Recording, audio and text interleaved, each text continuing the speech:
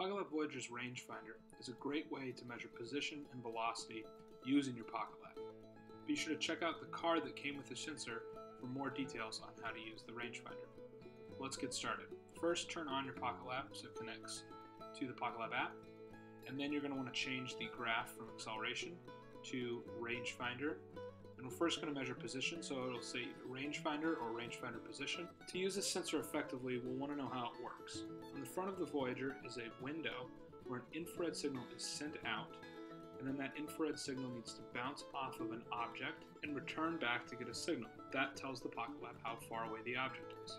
We can have the Voyager face the table, and as I move the Voyager up and down, we can get a reading of the change in position of the Voyager relative to the table.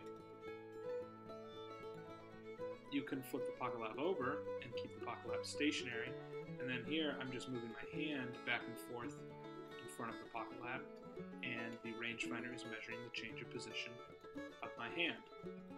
If you're studying linear motion, you'll probably want to look at both position and velocity together. So go to two graph mode, and now we're looking at both the rangefinder position and rangefinder velocity.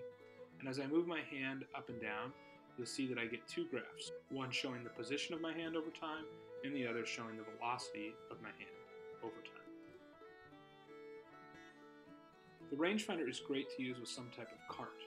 So here we're attaching it to the PocketLab Hot Rod that we've 3D printed, and you can 3D print for free, but you can also attach it to any cart that you may have laying around. So here I'm moving the cart back and forth in front of a piece of cardboard that I have slightly off screen, and you can see that we're getting the position and velocity of the cart over time from Pocket Lab's infrared rangefinder.